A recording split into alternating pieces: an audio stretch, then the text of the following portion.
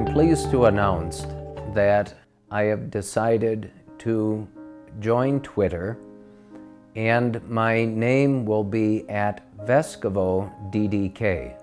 Perhaps you're wondering why I would choose to do this. Let me just say that the Holy Father has shamed me into doing it since I'm not very good at computers or any of this new technology. In the same vein and for the same reason, I've decided to join him in this effort as one more way of using as many of the new technologies in the media as we can as the Catholic Church and as individual Catholics to promote uh, the new evangelization. And part of the new evangelization, of course, is to respond to people's real questions about the Catholic Church, about our faith. As you know, I'm never at a loss for words, and so this will be a sacrifice since I know I'm limited to 140 characters. So I'll try and be accurate and concise in answering all of your questions. But I do encourage you, if you have